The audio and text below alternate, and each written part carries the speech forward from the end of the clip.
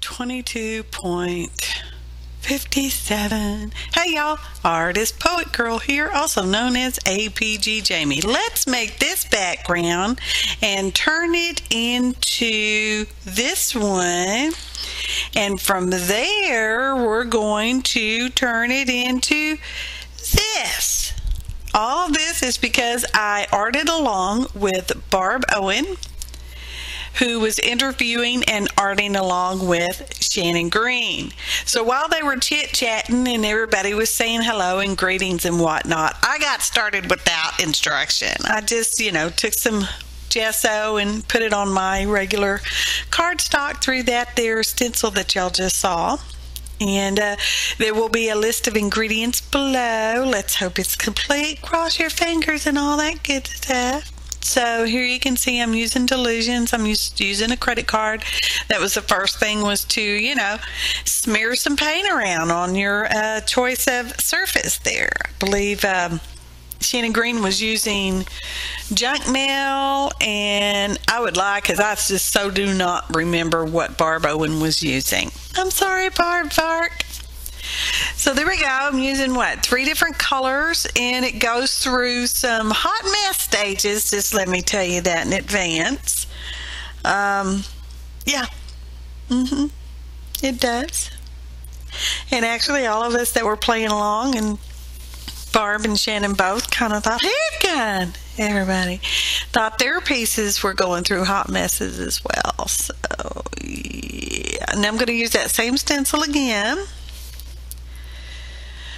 I lost it lost some of its effect when I used the uh, three colors on the background. You would have been able to see it more better if I had just done a single color, but uh, you know, hey, playing along. I was actually filming something else when they came on and told me what they was going to be doing, and I said I'm going to play with them too, and I'm going to film it too, la la la la la, because I was already out here and already set up and blah blah blah blah blah, and who needs a life story and all that. So there we go. More instructions. Now we're going to add some stamps, and that's a very small script stamp. It may even be dictionary like. I don't remember because I don't remember who paid it, and uh, it was already on my desk because I was already using it. This is a uh, rubber strip that is unmounting. A friend of unmounted, not mounted. Hmm, my nose stopped up. Unmounted, and I believe it's uh, kitty cats. Couldn't decide if it's cats or dogs, but I think it's really kitty cats. So I'm just stamping around. I tend to do backgrounds so that they can be used in any direction. I seldom do a specifically directional background, if that makes any sense.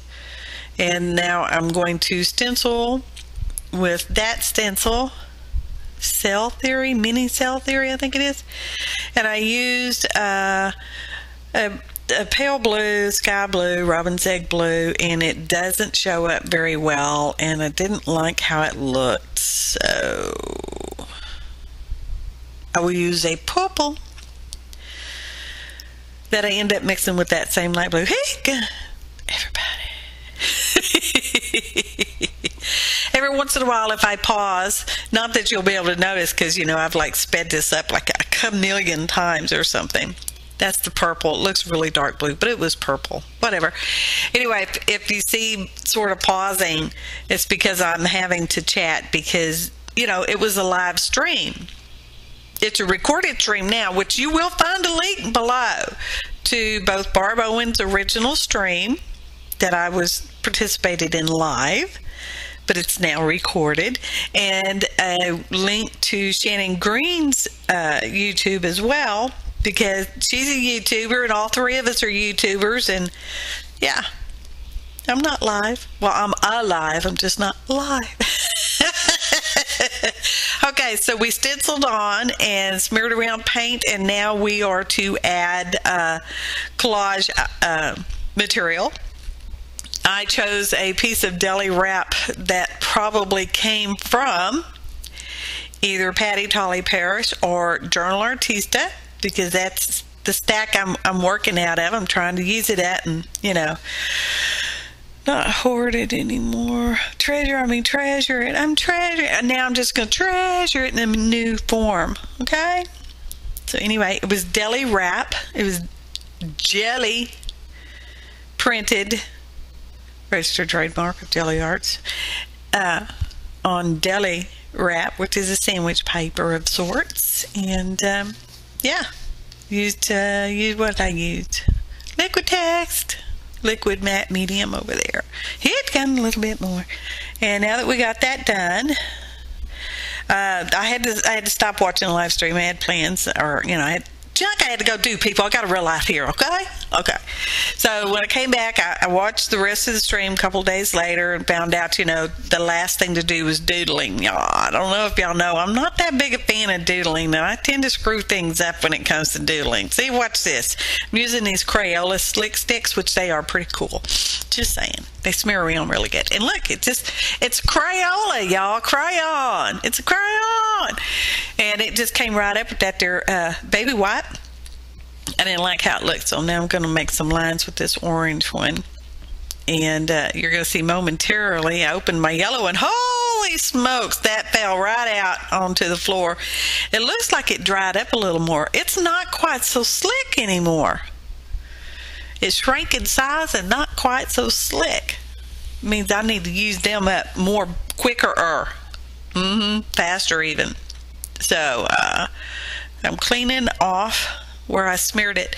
Now this is a mask that I made some time ago. I can link you guys up to um, the video where I used that uh, plastic folder thing and made some mask for um, I don't know was uh, creative arts collaboration perhaps probably maybe video hop. Right there because I don't know. I should have researched that before I started my voiceover.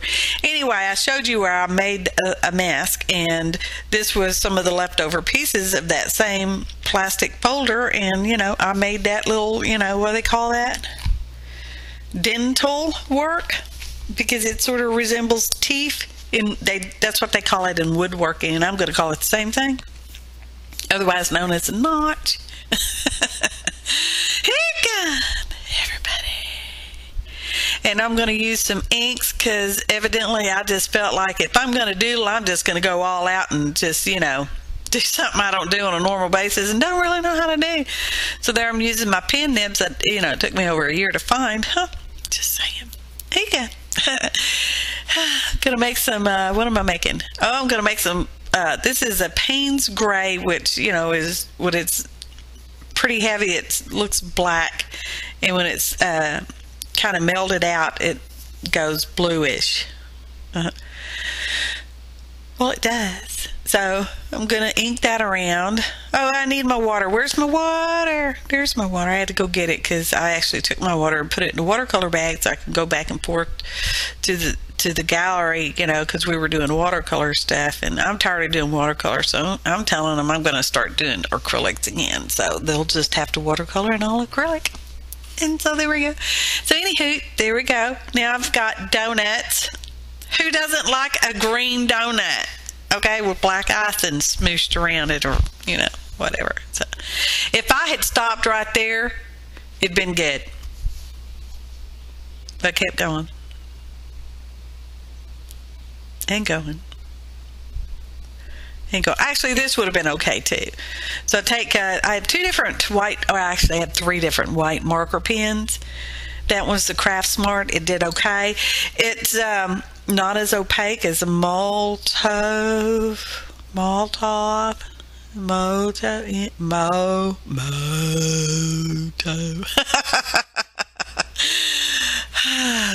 It's in the ingredients spelled out, so yeah.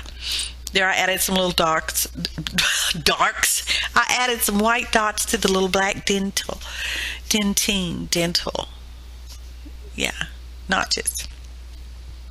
And now I'm making circles with a uh, violet color ink.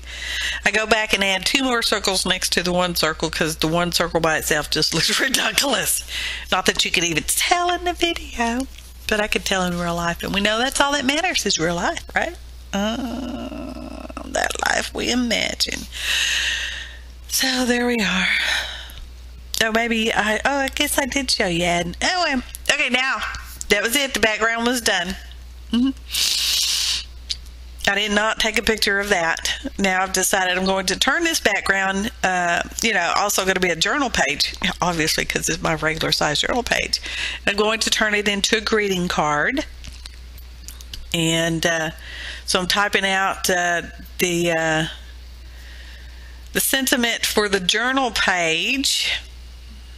It's rain or shine, and this is where I should never I should never have splattered. I don't know. It just did something to make it really. I don't know. I don't know. I didn't like it, so I decided why not you know add some white dent stuff and dot that too. And now we're going to matte medium on the sentiment.